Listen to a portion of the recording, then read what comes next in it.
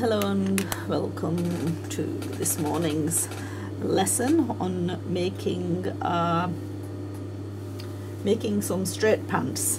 Okay so these straight pants the first thing we're going to do is on the back of the trouser we're going to attach these two pieces which are just to slightly extend the crotch area because of uh, this is because of shortage of fabric. So on the back of the crutch we're just adding uh, to the inside leg extensions. Stitched it on the wrong side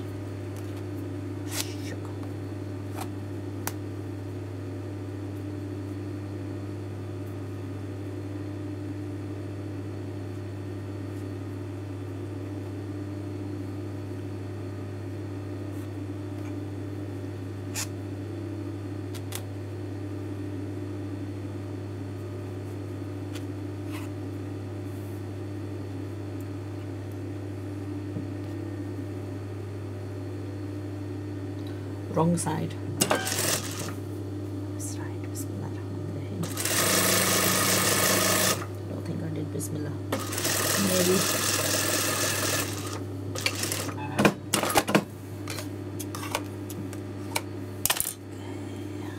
And on the other side, this fabric has got a right and wrong, so make sure to distinguish the right from the wrong so that you're attaching it on the right side rather than like me and his attach it on side so that's the first thing out of the way.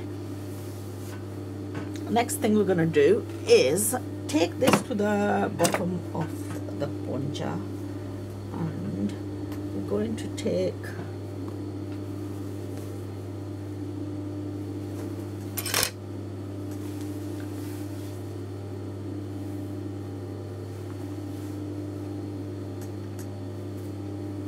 make sure that the crutch side is towards the inside. This is the outer side leg seam.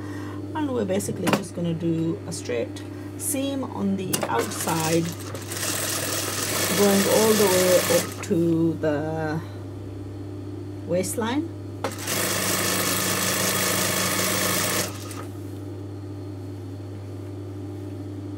Now you can either press this um, if you're going to press them open the seams then you need to overlock these individually. Uh, and if you're going to overlock them together after you've done the seams then you're going to have to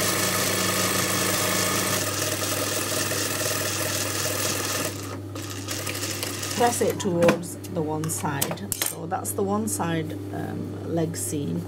And then we want to do the inside leg seam as well so that the whole of the leg is just basically closed off